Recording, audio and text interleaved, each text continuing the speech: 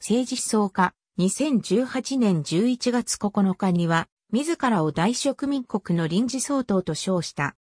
独立主義的な思想で知られ、現在はアメリカに居住している。火災医科大学を卒業した後、ウイグル自治区の公安20年勤務。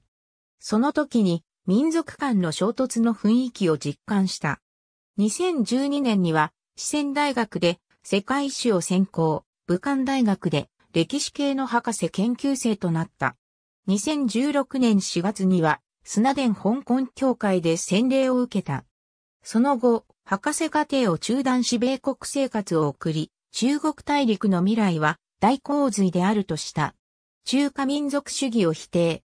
中華民族は政治的捏造であると否定し、中国国民党と中国共産党の中国の歴史解釈、中国の近代的反日潮流、北伐を否定する。中国民主化と民族の対立をなくし、文化を守るためには、諸夏時代のように、漢族のいくつかの国に分かれる必要がある。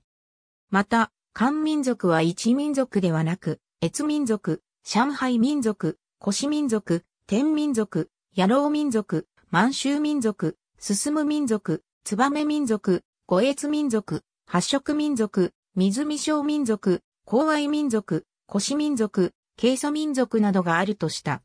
劉中隆氏は政治経済や地政学的状況の様々な理由により中国が将来崩壊し大洪水と呼ばれる無秩序な状態に陥ると主張する。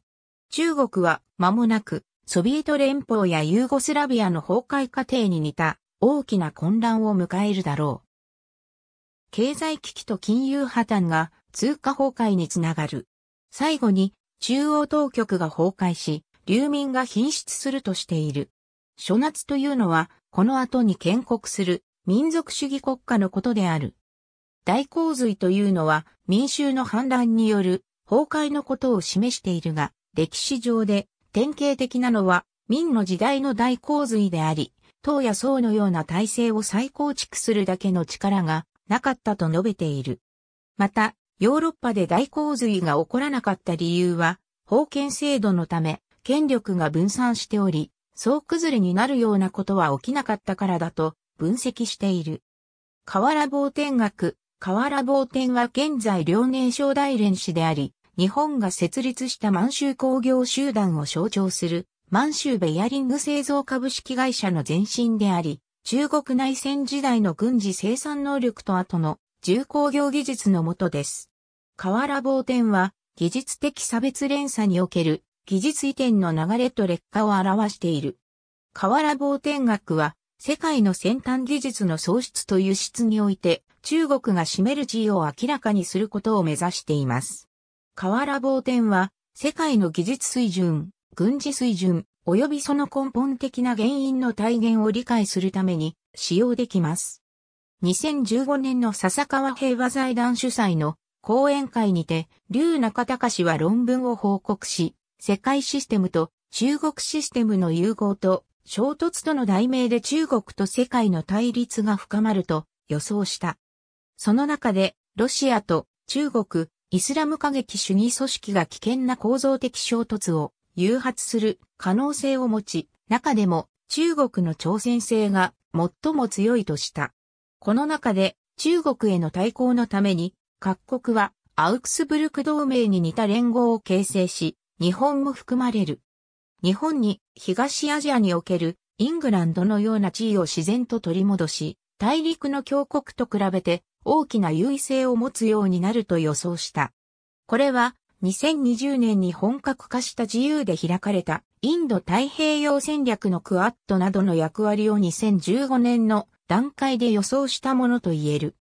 また、清めの儀式は東南アジアと太平洋は基本的に同じであり、日本の神社のお祓いや浄化の概念は人類学者にとってはポリネシアや太平洋諸島に共通するものであることがすぐにわかるが、それが特に洗練された形で発展したのは日本だけであるとした。民主主義についても独特の考察があり、劉中隆は日本、韓国、中国の民主主義と歴史を比較し、下記のように述べている。世界史の発展の全工程について知っている限りでは、ヨーロッパでも、東欧でも、中東でも東アジアでも、基本的な工程は同じであり、いわゆる民主憲法は、国民国家の出現の過程で形成された統治様式であり、中国に限らず、国民国家以前の多民族、多文化の大帝国には適用できないという結論に達しました。中東のオスマン帝国にも、ヨーロッパの神聖ローマ帝国にも適用されなかった。ヨーロッパで民主主義が成功したのは神聖ローマ帝国の解体後であり、中東ではケマルがオスマン帝国を解体した後であった。なぜ日本はそれができたのか？その答えは日本がアジアのイギリスであり、帝国システムから撤退したからである。なぜ韓国はうまくいったのか韓国は民や清の帝国にも属していたが、その成功は中華帝国から撤退した後のことである。